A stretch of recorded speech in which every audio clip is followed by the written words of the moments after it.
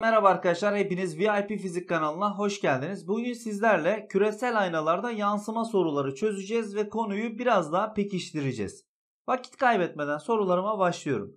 Şekildeki birim kareler üzerinde verilen K ışınının bir tümsek aynada yansıması gösterilmiştir. K ışını tümsek aynaya paralel gelip bu şekilde yansımış. Aynalardaki özel ışınların kurallarını bilmek zorundayız gençler. Burası aynanın odak noktası olmalı ki paralel gelen ışının çünkü uzantısı odaktan geçecek şekilde yansır.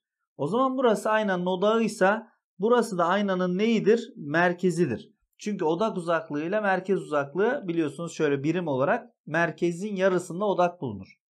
Bu gelen ışın düz aynaya geldiği için düz aynalarda kural nedir? Eğer aynanın sen 4 birim ötesine doğru gitmek istiyorsan eğer bu çukur tümsek ayna olmasaydı sen nereye gidecektin? Aynanın diğer tarafındaki 4 birime gidecektin. Yani bakın tam buraya. Bakın düz aynanın 4 birim ötesini hedeflemişti. Düz aynanın diğer tarafındaki 4 birime gitmesi gerekiyor. Eğer bu tümsek ayna olmasaydı bu ışın aynen gösterdiğim yerden gidecekti. Fakat tümsek aynaya çarptığı zaman gitmek istediği yer tümsek aynanın merkezi olduğu için merkeze doğru gelen ışın da kendi üzerinden geri dönmesi gerektiği için yine tümsek aynanın özel ışınıdır bu. Bu ışın geldiği yoldan ne yapar arkadaşlar? Geri dönerek sistemi terk eder. Odak uzaklığı 12 cm olan çukur aynaya gönderilen I ışını şekildeki gibi yansıyor. Evet. Burada da dikkatimizi şuna vermemiz lazım. Gelen ışın, yansıyan ışın. Aralarındaki çizilen çizgiyi görüyorsunuz. Çizgi ne yapmış? Eşit bölmüş. O halde eşit böldüğüne göre bu çizgi bizim normalimiz değil midir? Aynalarda normal ikiye bölmez mi gelen ışınla yansıyan ışının açılarını? Evet. Peki küresel aynalarda normal dediğimiz şey merkez doğrultusundan yani merkezden çizilen çizgiye normal denmiyor mu? Evet. O zaman burası merkezdir. Merkez demek odak uzaklığının tam iki katı demektir. Yani x artı 9 denilen mesafe gençler odak uzaklığının tam iki katıdır. Yani 24'tür. 9'u çıkarttığımızda x uzaklığının 15 olacağını görürüz.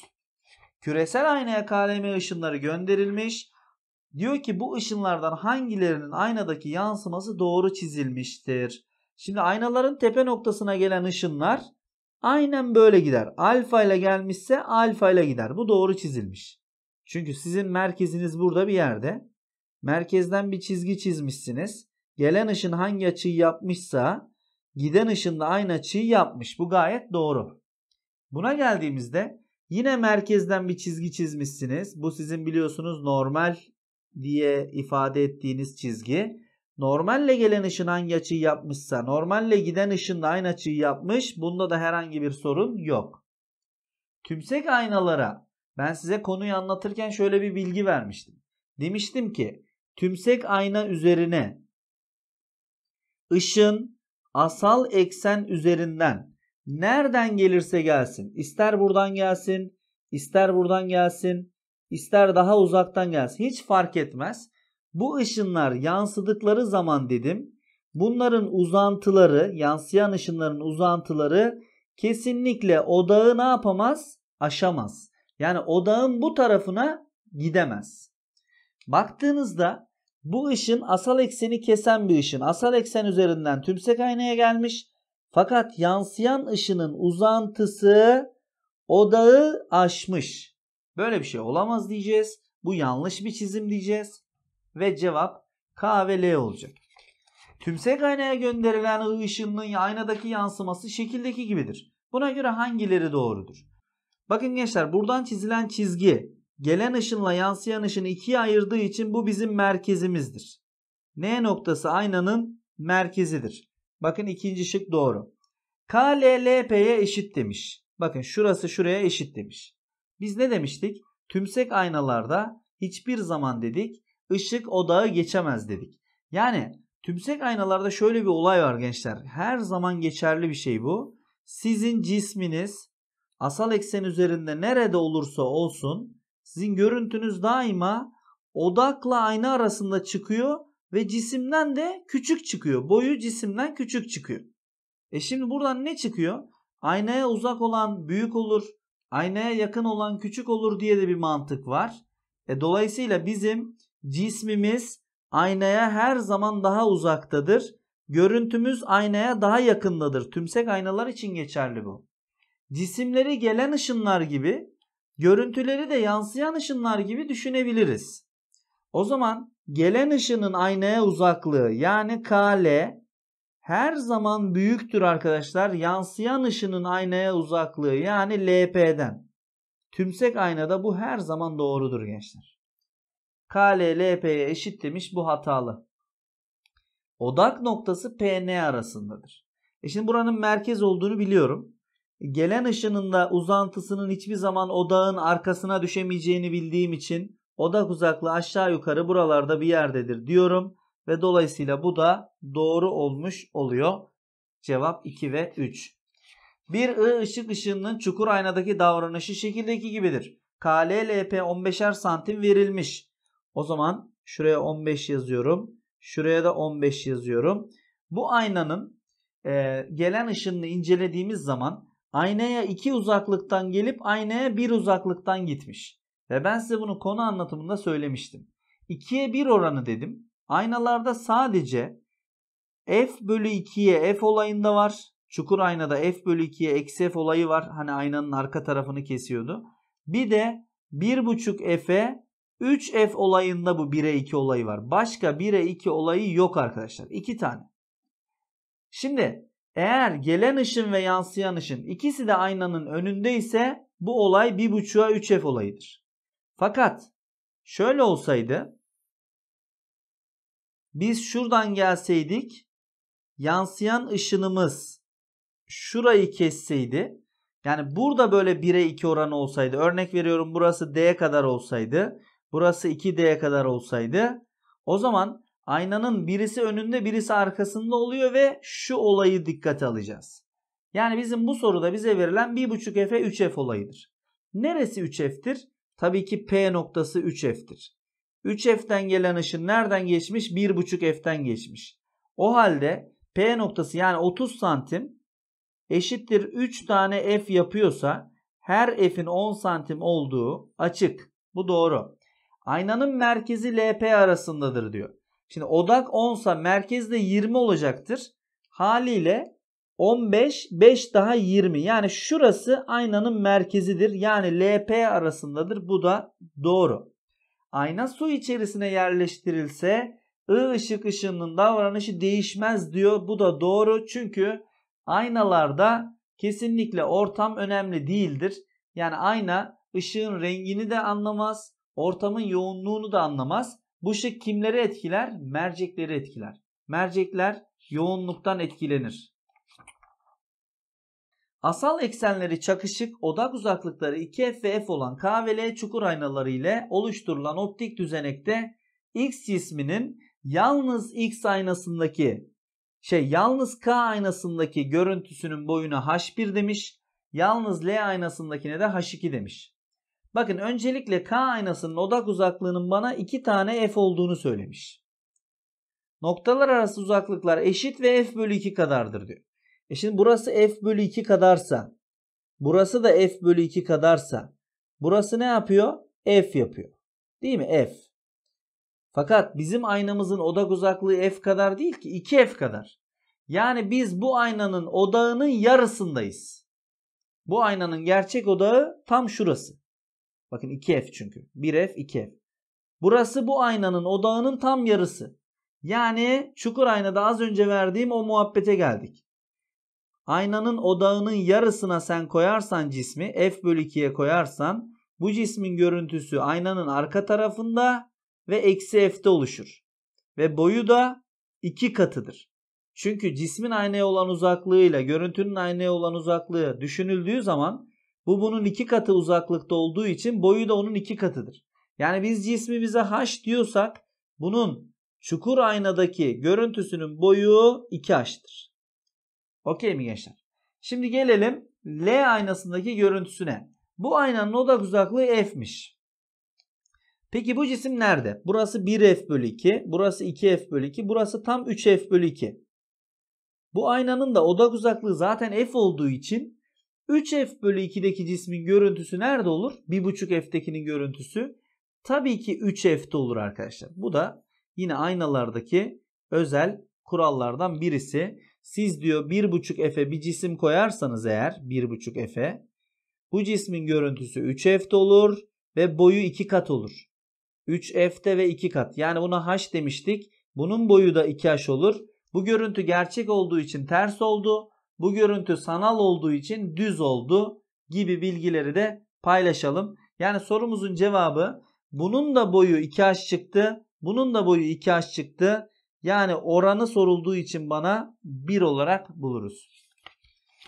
X ve Y küresel aynalarıyla oluşturulan optik düzenekte verilen ışının yansıması gösteriliyor. Odak uzaklıkları oranını bana soruyor. Öncelikle paralel gelen ışın tümsek aynaya geldiği zaman nasıl gider? Uzantısı odaktan geçecek şekilde gider. Yani bu aynanın odak uzaklığına ben bir birim diyebilir miyim gençler? Diyebilirim. FY'ye ben 1 yazıyorum hiç uzatmadan. Peki X aynasına gelen ışın kendi üzerinden geri dönmemiş mi? Bakın gelmiş geri dönmüş. Demek ki burası dik. O zaman bu ışın asal eksen üzerinden nereden geliyordur bu aynaya? Merkez noktasından geliyordur. Çünkü merkezden gelen ışınlar kendi üzerinden geri döner. Fakat bu ışın şu an havada arkadaşlar. Bu ışını geriye doğru uzatarak nereye götürmek zorundasınız? Asal eksene değdirmek zorundasınız. Yani şunu söylemek istiyorum. Bu ışın asal eksen üzerinden nereden geliyor? Buradan geliyor. Bu nokta X aynasının merkezi olmak zorunda arkadaşlar. Çünkü merkezden gelen ışın kendi üzerinden geri döner. O zaman 1, 2, 3, 4, 5 birim. 5 birim bunun merkezi ise odak nedir? 2,5 birimdir. 1, 2,5 yani şurası 2.5 birim bunun odak noktasıdır arkadaşlar. Dolayısıyla fx yerine de ben ne yazacağım? 2,5 birim yazacağım. Bunu buna oranladığım zaman zaten sonuç 5 bölü 2 olarak bulunacak. Tümsek aynanın odak uzaklığı 10 cm olduğuna göre aynalar arasındaki mesafe bana soruluyor. Şimdi önce ışın düz aynaya gelmiş. Düz aynaya geldikten sonra şöyle gidiyor. Önüne eğer bu tümsek ayna çıkmasaydı bu ışın nereye gidecekti? Buraya gidecekti. Buradan ne sonucu çıkıyor? Şu aynayı bir görmezseniz şurası 50 ise şurasının da 50 olması gerekiyor. Yani ben bu mesafeye 50 eksi d diyebilirim. Gençler. Çünkü dediğim gibi düz aynalar hangi uzaklığa ışını göndermek istiyorsan onun simetriğine ışığı yansıttığı için burası 50 ise burası da 50 olmalıdır. D'ler gider ve bakın 50 olur. Peki bu aynaya gelen ışın neden kendi üzerinden geri dönmüş? Demek ki burası dik. Yani bu aynanın siz hangi noktasına gidiyorsunuz? Merkez noktasına gitmek istiyorsunuz ki bu kendi üzerinden geri dönmüş. Aynanın odak uzaklığı 10 ise merkez uzaklığı da 20 olmalıdır. Çünkü merkez 2 tane odak demektir arkadaşlar. O halde merkez 20'dir. Yani 50 eksi d dediğimiz mesafe 20'ye eşittir. Yani d buradan 30 santimetre olarak bulunacaktır.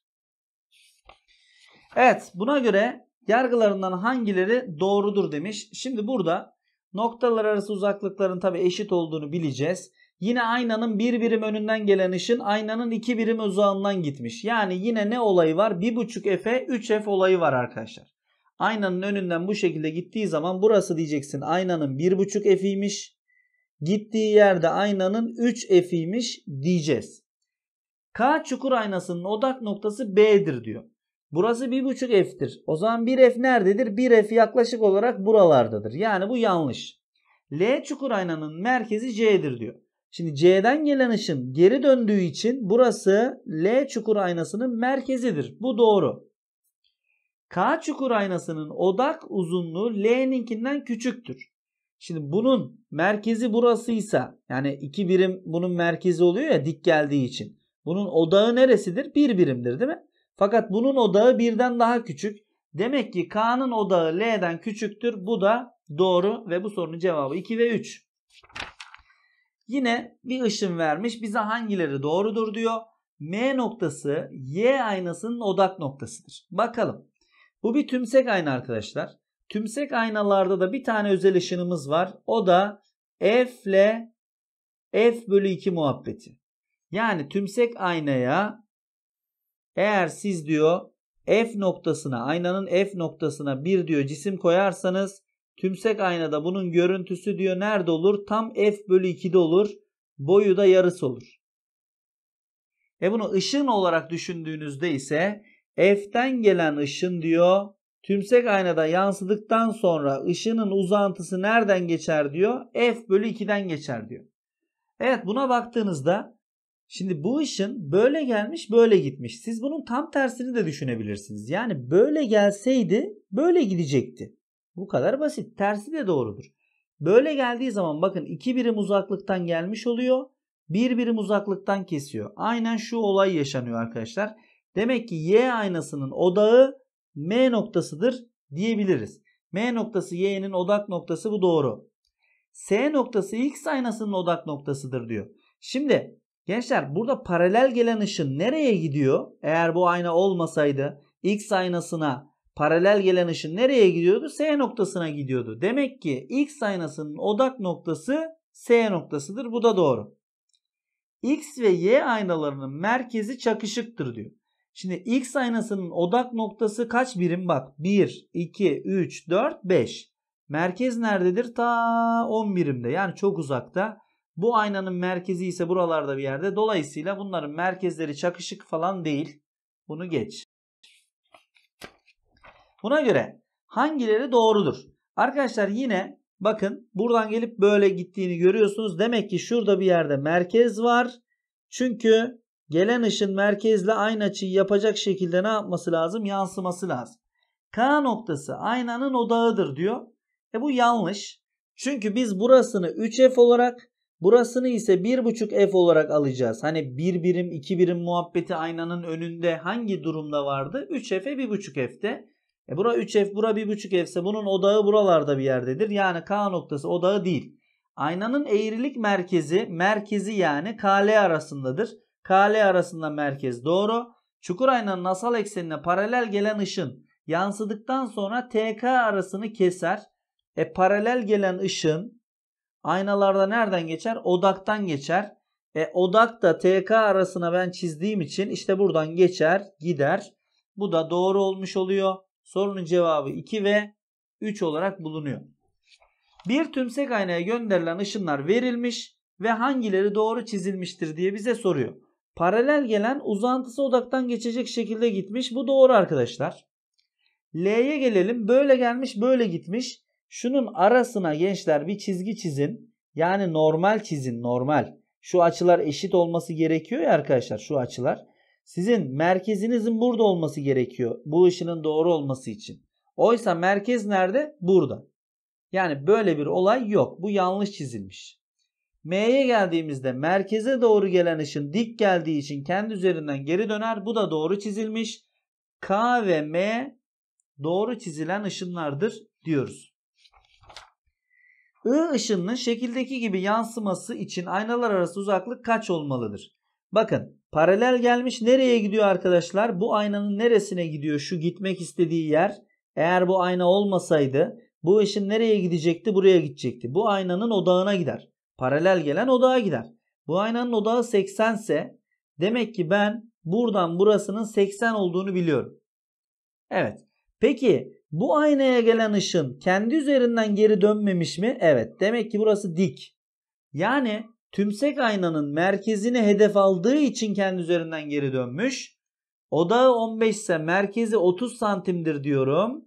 Buranın tamamının 80 olduğunu az önce söyledik. O halde D'ye ne kalır? 50 santim kalır. Evet yandaki soruya bakıyorum.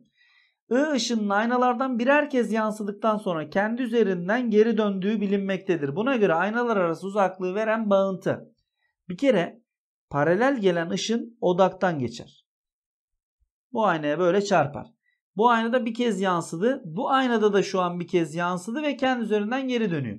Demek ki bu aynaya bunun dik çarpması gerekiyor. O halde paralel gelen odaktan geçtiği için şu nokta nedir? Bu aynanın odak uzaklığıdır. Peki bu L aynasına gelen kendi üzerinden geri döndüğü için burası yani şu nokta L aynasının neyidir? Merkezidir. Burası da bunun merkezidir. Yani şu mesafe bir tane F1'dir. Şu mesafe ise merkezler biliyorsunuz iki tane odak yapar. 2 tane F2'dir. O halde aynalar arasındaki uzaklık şudur. F1 artı 2 tane F2 şeklinde soruyu çözdük. Ve bu soruyla birlikte bu videonun da sonuna geldim. Beni dinlediğiniz için teşekkür ediyorum. Sürçülisan ettiysek affola. Videolarımızı eğer beğendiyseniz beğenmeyi ve çevremizdeki arkadaşlarımıza da tavsiye etmeyi unutmuyoruz. Kendinize iyi bakın. Hoşçakalın.